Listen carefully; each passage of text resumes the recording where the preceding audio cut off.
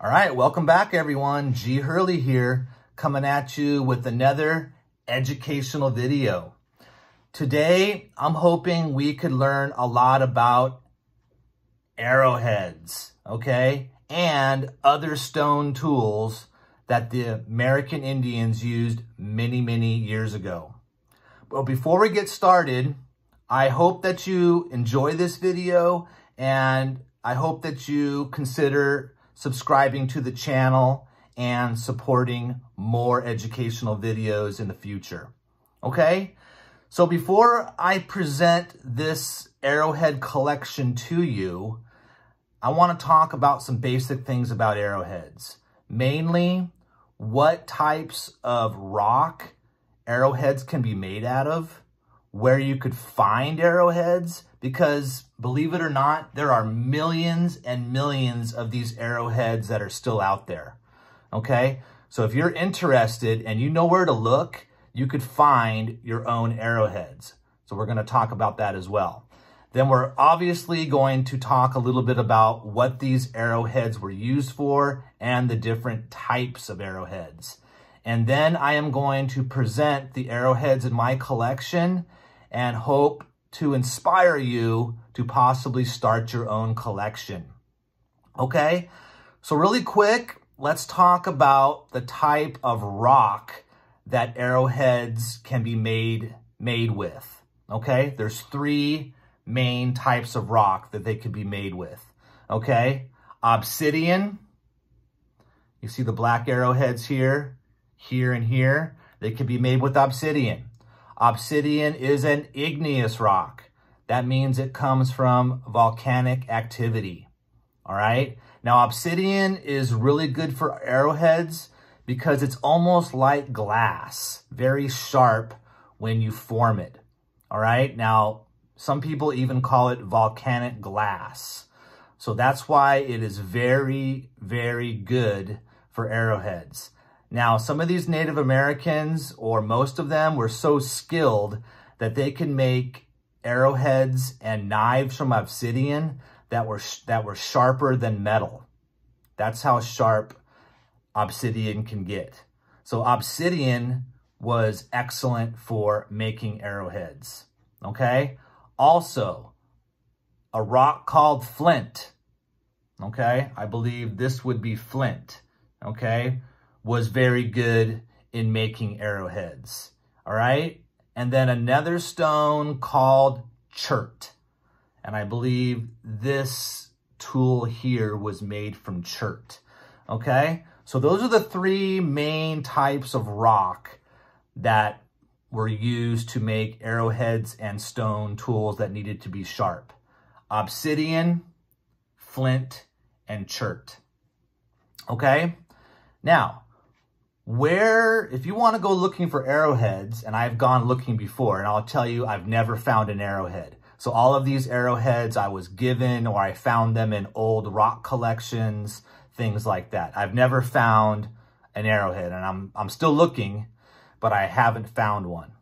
Okay, they're harder to find in California than other parts of the country. Okay, but if you do look for arrowheads, you want to look near rivers riverbeds or dry riverbeds, okay? Why?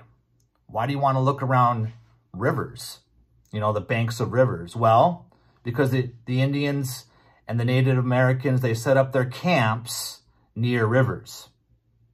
That's smart. You need, you need flowing water to drink, so you set up your camps near waterways, specifically rivers, because that's the type of water you could drink okay, flowing water from rivers. So if you're looking for arrowheads, you want to look near rivers or possibly in dried, dried up, dry riverbeds, okay? So we've gone over the types of rock arrowheads are made from. We talked about where you could find arrowheads. Let's talk a little bit about what arrowheads were used for and some of these stone tools. Okay, so obviously arrowheads were used for hunting and they were used for hunting different types of game. Okay, so if you have a large arrowhead, very large, couple large ones here. You're hunting large animals such as deer, bear, you know, antelope, animals like that. Smaller arrowheads were used to hunt smaller animals such as birds possibly. And I'm going to be going over all these arrowheads with you and we'll talk about, you know, what they were used for or what what animals they were used to hunt. Okay?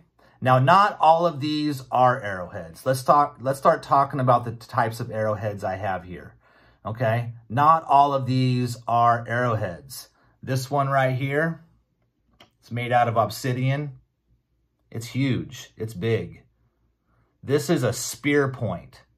So any arrowhead that is bigger than, let's say, two or three inches and this wide is most likely a spear point. So this would be attached to a long pole and used as a spear to throw. Okay, not an arrowhead, way too big. You couldn't shoot this with a bow and arrow. It's just too heavy and too big. So this most likely was a spear point. Okay, but definitely obsidian. You can see how it almost looks like glass and how sharp that could be. So this was most likely a spear point. Okay?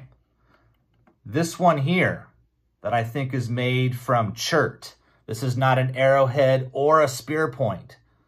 This most likely was a knife tool used for cutting food, for cleaning, for cleaning, you know, animal, animal hides to use for clothing, but definitely a knife tool that was used for some kind of cutting. Not an arrowhead, too big to be an arrowhead, but too small to be a spear point. So I'm thinking this was most likely a knife and, you know, it looks, looks pretty sharp. So we got a, a knife here, definitely a stone tool though. Okay, now the rest of these are arrowheads. Okay, and let's quickly talk about the parts of an arrowhead. I have this really cool looking one here. Definitely an arrowhead. Now the tip is called the point. That's pretty easy. And then the middle part here, we call that the body okay, the body. And then we have here where you would attach it to the stick or the arrow part of the shaft, we call it. We call that the base. So that's where it would attach. And this one is either flint. This is not obsidian. This is either flint or chert. And notice um, it has some different colors. So this is a really pretty one. It has some uh, tan here and then tan and more brownish here by the base. But this is a, uh, a larger size arrowhead, so this would probably be used to hunt larger game, maybe deer or something like that. But those are the parts of an arrowhead, the tip, the body, and the base. And the base is where you would attach the arrowhead to the shaft. Okay, so those are the parts of an arrowhead. All right, we talked about what arrowheads were used for, what kind of animals they were used to hunt. Here's a very small arrowhead. Think about that for a second. What do you think this was used, used to hunt? Yep, you're right. You're probably thinking about birds, yes. Native Americans hunted lots of birds for protein and for food. And the small arrowheads you find were used for birds. We would call this a bird point, okay? Either birds or, you know, maybe a wild turkey. We had lots of wild turkeys all over the country, so this was probably used to hunt small birds or turkeys, wild turkeys. But a very a very defined point, a nice little face, and a nice little base there that you could use to attach to the shaft of the arrow. Okay, so this would be a bird point. This one here I like because you could because you could stand it up to display. It's got a real flat base there. But I'm thinking this one might have been another spear point. Okay, because it doesn't have a base where you uh, would attach it to a, an arrow shaft. So maybe a spear point, kind of a crude one, but definitely man-made. You can see where the flakes were chipped off to create the arrowhead. So you would hit this with a another rock to chip off the chips okay? The flakes, we call them, flakes, to create, and you keep flaking it until you have the desired or the shape that you want. So I'm thinking this one was probably most likely a spear point as well, okay, for throwing. But I like this one, I like this one too. All right, then I have some up here. This one's a really big one. And I kind of have more information on this one. This one was used by the Woodlands Indian tribe, Woodlands Native American tribe, and they were, they lived in the, the middle part of the country. And that's a big arrowhead. You could see the point, the body, and the base right there. But this one was definitely used to hunt big animals, deer, you know, maybe, maybe elk. An elk is a very large animal, okay? So that one's a cool one. All right, so that's basically my arrowhead collection. I have a couple more here, and these are all obsidian. Now, I found these in an old rock collection that somebody gave me. So I was very happy to uh, find these at the bottom of an old box. So I was really excited when I found these. But these are all obsidian. Okay, these two at the top were probably spear points. Okay. This one on the side here was most likely a knife used for cutting. Not an arrowhead or spear point, but most likely used as a knife. And then this one here doesn't really have a sharp tip on it. So I'm also thinking that this one was just a cutting tool used, used for cutting. So this one was probably a knife as well. So it looks like we have a spear point, spear point, knife, knife, and then down here, very small ones. So these were probably bird points here used for hunting small game or birds. But I was very happy to find these at the bottom of a box, bottom of a an old rock collection box that somebody gave me when I was a when I was a little kid. So that was pretty cool. Okay. One last thing I wanted to talk about. I have this super cool and I wanted to show you this because it has the large arrowhead. This is an axe head actually, but I wanted to show you how the Native Americans would attach the arrowhead or in this case, the axe head to the actual shaft. So they would use some kind of material, okay, some kind of putty or something that would dry, and this is super strong, okay? Now, this is called uh, Hacha Azteca, or an Aztec hand axe, okay? Now, obviously, it's a reproduction. I bought this in Mexico, um, in Tenochtitlan, by the Mexican or the Aztec pyramids by Mexico City. And I also found out later that it's called a palo de lluvia, palo de lluvia, because it makes sound like a rain stick. Okay, so I'm thinking that this was, something like this was not used in battle.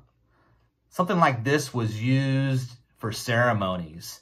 Because as you can see, we have some Aztec symbols and Aztec gods on it. So this is probably more for, you know, an Aztec priest or an Aztec emperor to use during ceremonies. And maybe you know, to try to summon some rain. It was called a rain stick, uh, palo de lluvia. So maybe this was used in ceremonies by Aztec priests to try to get the rain to come. Because if the rain doesn't come, you can't grow crops and you can't feed your people. So it was very important to have rain and to have ceremonies to make the gods pleased so that they could give the people rain. So we have an Aztec hand axe, also known as a rain stick. And it sounds like rain. All right, guys. So I hope you enjoyed this video. Hope you learned a little bit about arrowheads today, about other stone tools as well, the kind of materials, the kind of rocks that arrowheads were made out of, some of the different types of arrowheads, and maybe where you could find arrowheads. I'm still looking for my first arrowhead. I'm going to find it. And maybe you would like to find your own arrowheads too and start your own collection. So for now, goodbye. Hope you enjoyed the video and I will see you next time. Thank you.